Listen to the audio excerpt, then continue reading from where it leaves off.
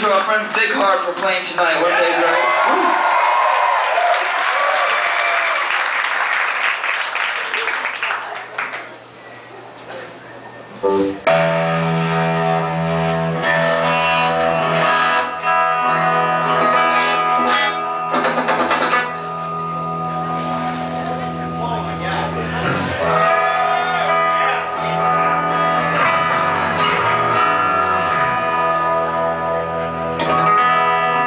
Uh, this one goes out to all our friends, uh, all our true friends in Arizona.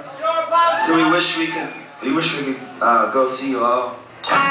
But um, as you guys know, there's a very ho- horrible law that they passed down there, which people want to cloak in this idea of states' rights or this idea of security, but actually is a much more basic, more uh, horrible reality, which is called racism, which a lot of people want to act, a lot of people want to act like doesn't doesn't exist today, but it actually because it's it's uh, full full effect. It's in full effect, and it's all around us. But at the point where like state governments can start passing laws which discriminate against people because of the color of their skin, then then we have a problem and we have an obligation to stand up and say that's wrong. And I know you guys are all about that here in Cali, and uh, I love you for it.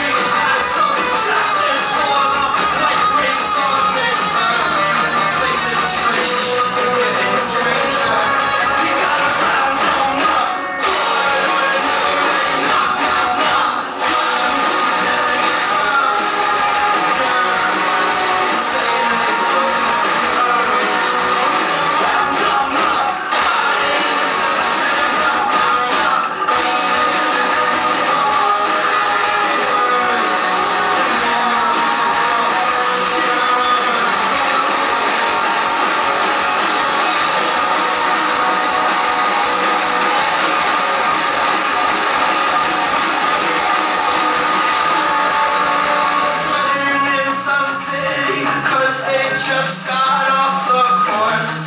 Same sheriff, Joe, it's only